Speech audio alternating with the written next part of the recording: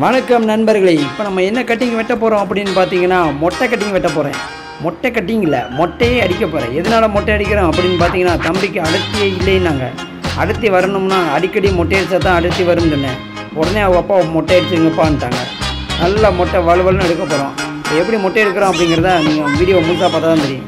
எதனால் மொட்டை அடிக்கிறோம் அப்படிங்கிற காரணத்தை சொல்லணும்னா கோயிலில் அடிக்கிறது வேண்டுதலுக்காக மொட்டை அடிப்பாங்க. சலூன் அடிக்கிறது வந்து ஏதாவது ஒரு காரணத்துக்காக மட்டும்தான் மொட்டை அடிப்பாங்க. ஒன்று புண்ணு அதிகமாக வரும் சில பேர்த்துக்கு முடி கொட்டுற பிரச்சனை இருக்கும். இன்னும் சில பேர்த்துக்கு பொடுகு தொந்தரவு இருக்கும். இன்னும் மொட்டை அடித்தா தான் முடி வளர்றதுக்காக நிறைய பேர் அடர்த்தி கம்மியாக இருக்கிறவங்க மொட்டை அடிப்பாங்க. அதே மாதிரி தான் இப்போ இந்த தம்பிக்கு அடர்த்தி ரொம்ப கம்மியாக இருக்கனால தான் நான் மொட்டை அடிச்சிட்டு இருக்கிறேன்.